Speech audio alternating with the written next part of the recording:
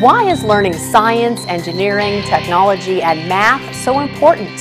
Hello and thanks for joining us. I'm Laurel Hess and this is Comcast Newsmakers. Our topic today is Uplift Inc. Here to discuss it with us is its founder, Ida Byrd-Hill. Thank you so much for joining us today. Thank you for having me. What exactly is Uplift Inc.? We are an educational advocacy firm. What we try to do is to educate parents and their families on how to improve the education from their children, not only just at school, but at home.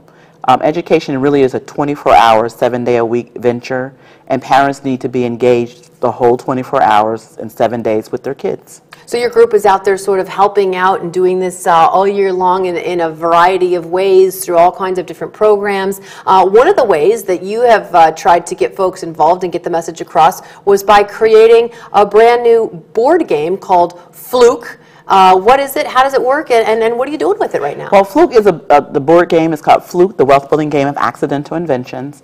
And one of the reasons why we created the game is that science, the students often ask, why do I need to learn science, technology, engineering, and math? And usually we don't really give them Because you got answer. a calculator, so why do you have to learn all that? Yeah, why do you? but the real reason is in the 21st century, um, the corporate America's strategy has been intellectual property. It has been the, the war of patents, copyrights, and trademarks. But in order to begin to get into that strategy, you have to do something basic. It's called inventing. But a lot of times we think that inventing happens by the mad scientists that you see in the lab, and that's not always the case. A lot of billion dollar inventions are actually accidents. And we don't think about them, we use them every day, like the post-it note, which is my favorite, would die without it, was created by accident. And it's a billion dollar, what we call a billion dollar fluke.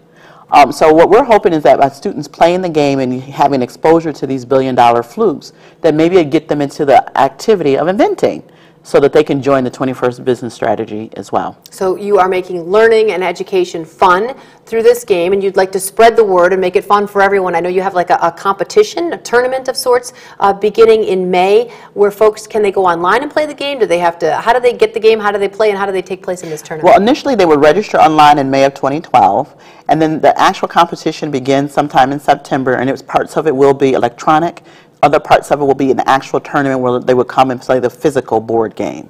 But we're asking people to start registering now in May so we can kind of see how many face-offs we're going to be having when we start in September of 2012. And if folks, uh, that's one way that folks can play the game, but if folks uh, think that this sounds interesting, they'd like to introduce their kids to it, uh, hopefully maybe pretty soon, if you're lucky, you may have this, uh, this board game on store shelves someday? We're hoping. I mean, our goal is to try to get it on the shelves by July. Um, just recently, we entered the board game into a competition called Get on the Shelf that was sponsored by Walmart to see if we could get on the shelf of Walmart Corporation. And right now, the game ranks 24 out of 90. And so we're steadily moving up the chain. We're trying to get to number one in that category. Um, but we'll see what happens when the competition ends April 3rd.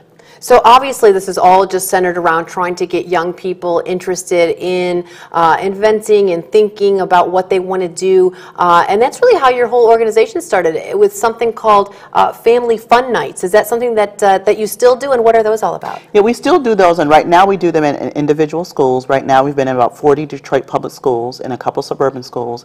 And what those are are events that are fun with an academic twist. Um, because what we're hoping is that people will walk away looking at learning is not a drag. It really can be fun.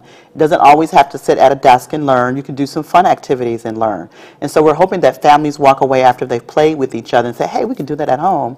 And they continue it because it improves the, the children's academic progress. The best way of learning is when you're learning and you don't really know you're learning. That is the best way.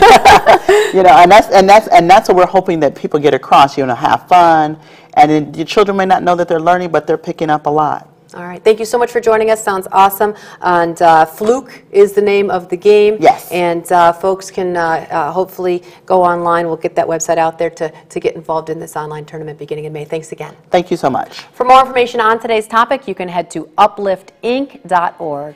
Today's Comcast Newsmaker was Ida Byrd-Hill, the founder of Uplift Inc.